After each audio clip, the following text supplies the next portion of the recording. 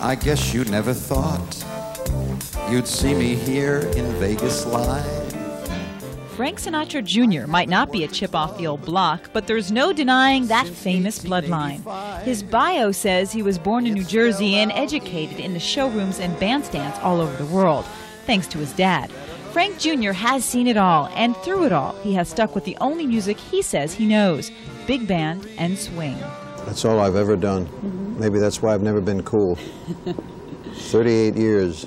Today at the Fontainebleau Hilton Hotel on Miami Beach, Frank discussed his New Year's Eve concert and told us for him, 1998 has been a terrible year. He lost eight people he loved, but none closer than his dad. Nobody wants to lose a parent, and, uh, and I consider myself extremely fortunate. Uh, I didn't lose my first parent till I was 54 years old.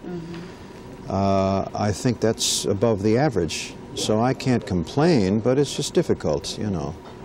It's just very difficult. Frank Jr. says he misses the onstage camaraderie he had with his dad when he conducted Frank Sr.'s orchestra. Never having equaled his father's success himself on stage, Frank Jr. says it was a thing to watch. It must have felt very, very good to be really in, to be the people that everybody wanted to be close to, like that, the exciting people. And they, they ignored it. They just, you know, it was just fun. Until you're in my arms once more. There used to be a saying lie in the sun, play the games, mingle with the stars. And anybody who didn't do that was not going to survive. This is, that's showbiz. That's showbiz.